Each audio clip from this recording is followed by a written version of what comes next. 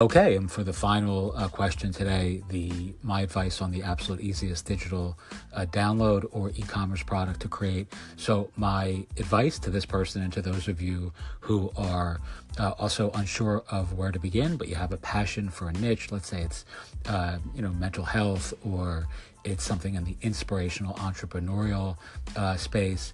The best advice that I have is go to a place like Etsy and buy a template uh, that's editable on Canva, like an affirmation card set or some kind of handout or heuristic or infographic, and uh, buy it for anywhere from five to twenty dollars, whatever the cost is, and then you simply want to import that uh, into Canva. I mean, it's very easy. You're not even importing anything. You're just loading that into your Canva account and then change it around and then uh, modify it so that you're teaching something or you're creating uh, a set of social media posts or some sort of infographic which uh, you know displays your experience and expertise within a given niche market vertical or industry and sell it and then put it on gumroad put it on podia uh, put it on buy me a coffee and you're done. And then you just simply iterate improve tweak and critique see if people are buying it and just make it better and scale it up. That's my best advice.